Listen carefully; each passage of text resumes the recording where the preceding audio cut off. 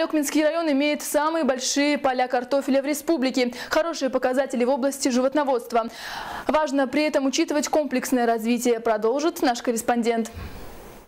Не просто объезд по объектам, но и анализ работы, просчет дальнейшей перспективы. Так выстроена работа Министерства сельского хозяйства.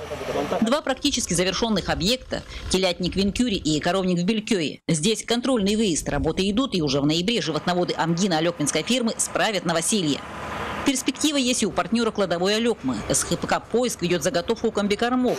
Но на сегодня они не смогут обеспечить нужды района в полной мере но на сегодняшний день его мощности по производству комбикормов не закрывают всю потребность алюкминчан, поэтому мы а, совместно с этим хозяйством думаем об увеличении мощностей по производству комбикормов. Необходимо закупать новое оборудование для того, чтобы увеличить объем.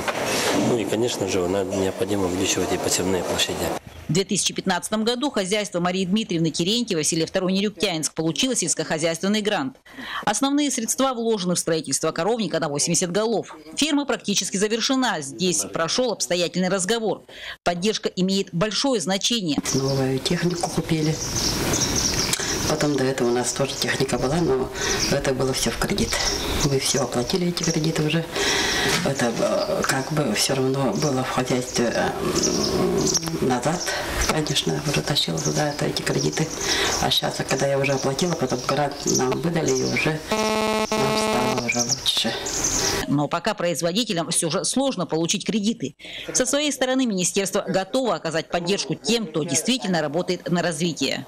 И Министерство сельского хозяйства всегда стремится поддерживать тех людей, которые расширяют свое хозяйство, начинают э, заниматься. Это молодые фермеры. Ежегодно мы для них тоже предусматриваем средства. Поэтому мы видим, что и на территории э, Алюкминского района молодежь хочет заниматься сельским хозяйством. И необходимо, конечно же, всех тех людей, которые хотят заниматься, которые активны в этом плане, мы их будем всегда поддерживать. Елена Фаст, Максим Копылов, НВК «Саха», Алекминск.